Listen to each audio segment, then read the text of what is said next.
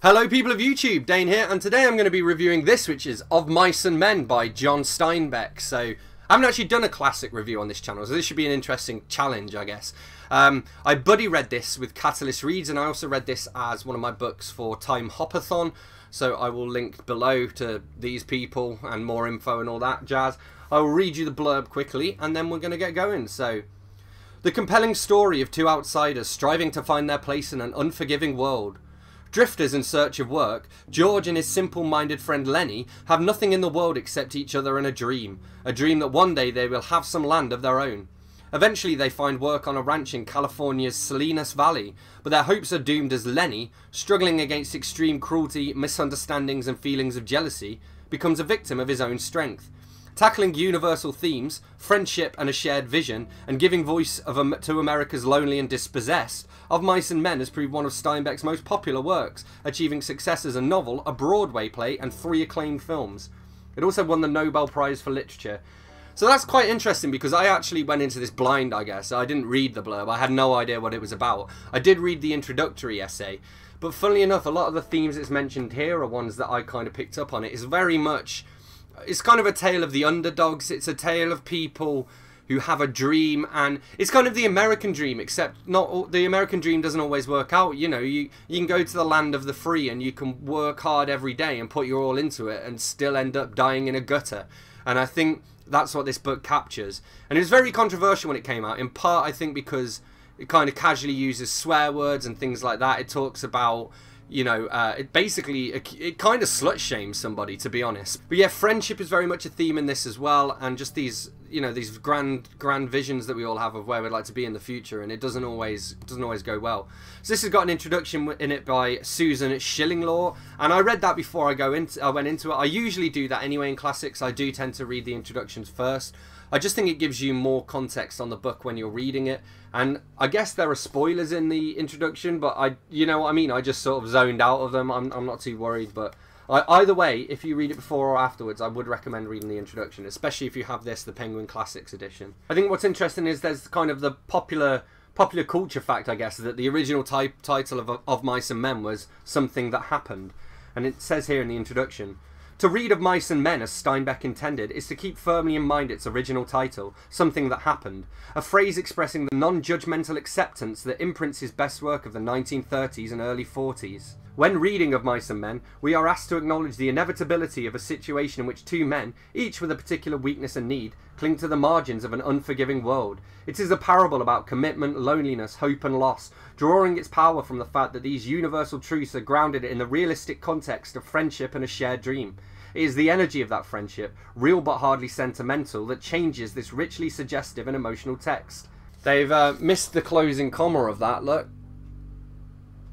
So a little bit more context as well that, I mean, specifically, I know this is hardly a review, I'm literally reading from the introductory essay, but I kind of combed out the bits that I thought would be interesting to share with you guys. So it says here, Indeed, the episode that inspired Of Mice and Men probably occurred on one of these ranches. Working as a bindle stiff himself in the early 1920s, Steinbeck saw a huge and troubled man kill a ranch foreman. Lennie was a real person, he told a New York Times reporter in 1937. He's an insane asylum in California right now. I worked alongside him for many weeks. He didn't kill a girl, he killed a ranch foreman. Got sore because the boss had fired his pal and stuck a pitchfork right through his stomach. I hate to tell you how many times I saw him do it. We couldn't stop him until it was too late. It was the kind of episode that Steinbeck filed for later use, a vivid incident with wide-ranging implications. It's funny, the actual introductory essay to this book is almost as long as the book itself because it is quite short. In today's standards you would call it a novella, and that makes it a great classic to get started with if you're new to classics, because it's an enjoyable little story, and while it is about the friendship between these two characters, there is very much a plot to it as well, which is very interesting. And it's just not too long, and you don't have to you don't have to overthink it. You can, if you want, you can analyze it, or you can just enjoy it for just what it is, just a fun little book. What's interesting that I didn't know is that the title of the book comes from a Robert Burns poem, and it says here, the poem tells of an unfortunate field mouse whose home is flattened by a plough. But Mousie, thou art no thy lane, improving foresight may be vain. The best laid schemes of mice and men gang aft agley, and leers now but grief and pain for promised joy. So when he says gang aft agley, that's Scottish for go off the rye, basically. But I thought that was interesting. And mice, mice are symbolic in this as well. and you'll see why if you read it. So, Of Mice and Men was published as a Book of the Month Club selection in March 1937. It said uh, it sold briskly, average sales of a thousand copies a day in the first month.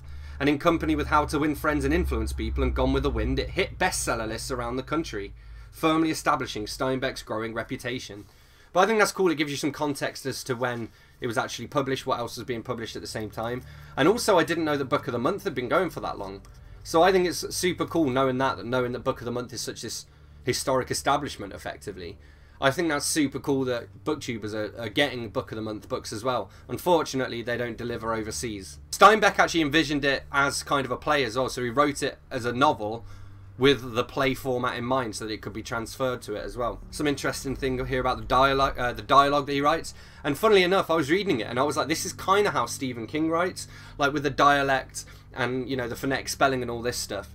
And I can kind of see, I could imagine that King must have read quite a lot of Steinbeck and when he was a young younger man, you know, and, and picked up on that. It says here, and in part, Steinbeck's naturalistic dialogue offended and continues to offend. The novel is one of the most frequently banned by school boards throughout the country.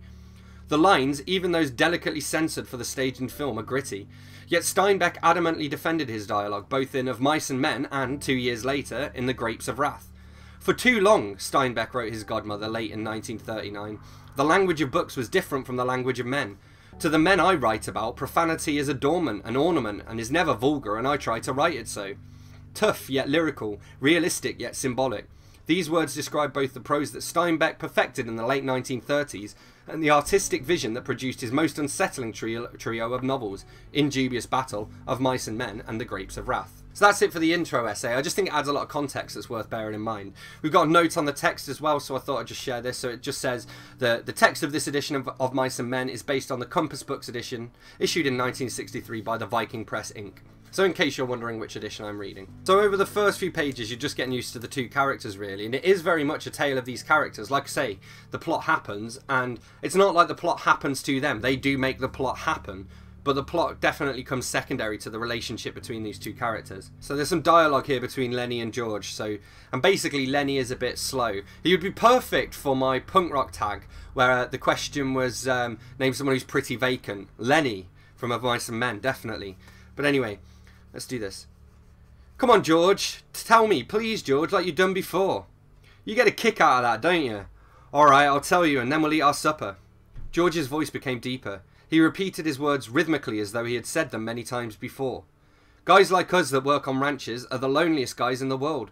They got no family. They don't belong no place. They come to a ranch and work up a stake and then they go into town and blow their stake and the first thing you know they're pounding their tail on some other ranch. They ain't got nothing to look ahead to. And that's very much a theme throughout this novel. And eventually they do come up with a plan to kind of break that. And uh, yeah, as as you might guess from the title, the best laid plans of mice and men off go awry. So, so what happens there? Now, as it was first published in what did I say? Was it 1937? Was it? Yeah, first published in 1937 you can see the changing attitudes, in particularly in Steinbeck's use of what I'm going to call here the N word. So I start keeping a count of how many times that word was used. So we're up to two so far. On this page, it's used five times in this one paragraph here. Now, I personally, I'm not too bothered about it, and I can overlook it for this because you could remove it all and the plot would still make sense and it would still be a great book without that being in there. So it's not like the story itself is inherently racist, which was my problem with the Sign of the Four when I reviewed that. Like, it, it's just the way it was spoken back then, I suppose. But it is still unsettling, unsettling enough that I kept a score count. So we're up to seven so far. We have this weird thing where Curley, who is he's like runs the ranch, and his wife is the one that's kind of they portray as very sexually promiscuous, but we don't really get to see it from her side of the story, so it's portrayed as though, you know, she's given the eyes at the men and all this stuff, but it's the men that are saying that, so I kind of think that she wasn't. the rumour goes around that Curley is keeping his hands in gloves covered in Vaseline to keep them soft for his wife. Well, we've got another add-on for that word, so that brings us up to eight. Then they're talking about giving uh, Lennie a puppy, but the problem is, is Lennie kills things by accident. He's not aware of his own strength, so he they don't it's not that such a good idea to give him a puppy but at the same time it's so sweet that you do want him to have a puppy because you know how much it will make him happy we have another count for that word that brings us up to nine so they come up with this plan and, and what i really like is The thing they had never really believed in was coming true. George said reverently, Jesus Christ, I bet we could swing her. His eyes were full of wonder. I bet we could swing her, he repeated softly. Spoiler alert, they don't swing her. I'm not going to tell you what it is though, because I don't want to ruin it. We have a great demonstration of Lennie not being aware of his own strength, and it's kind of sad because he doesn't he doesn't even understand how it's a problem, you know. He's a, the true gentle giant. Alright, we have two more, so that brings the count up to 11 uses. We have a point where we actually speak to this black guy as well, and um, he says, guys don't come into a coloured man's room very much. Nobody been here but Slim. Slim and the boss. They talk about going to the whorehouses and stuff. So you can see why this would have been controversial at the time, you know. Up to 12 mentions of that word. 13.